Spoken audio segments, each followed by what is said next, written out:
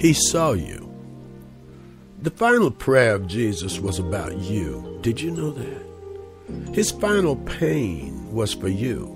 His final passion was for you. Before he went to the cross, Jesus went to the garden.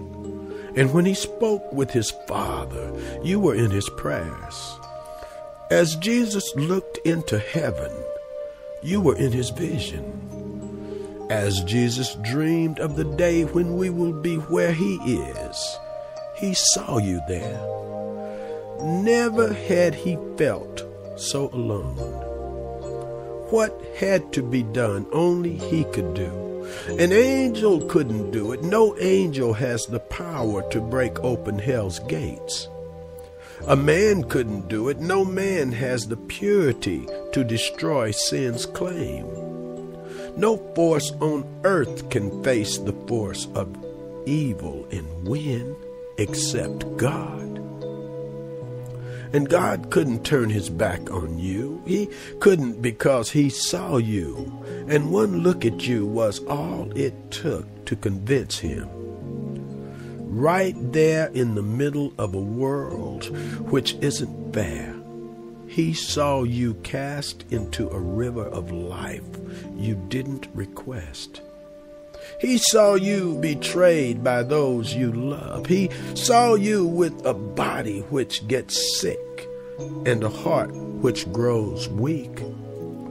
He saw you in your own garden of snarled trees and sleeping friends. He saw you staring into the pit of your own failures and the mouth of your own grave. He saw you in your garden of Gethsemane, and he didn't want you to be alone. He wanted you to know that He has been there too. He knows what it's like to be plotted against. He knows what it's like to be confused. He knows what it's like to be torn between two desires. He knows what it's like to smell the stench of Satan.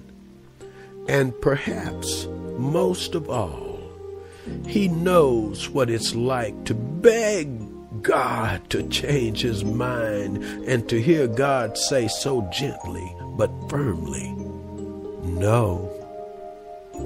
For that is what God said to Jesus, and Jesus accepted the answer. At some point during that midnight hour, an angel of mercy came over the weary body of the man in the garden. Jesus stood, the anguish gone from his eyes. His heart will fight no more. The battle has been won, the sign of conquest. Jesus at peace in the olive trees. On the eve of the cross, Jesus made his decision. He would rather go to hell for you than go to heaven without you.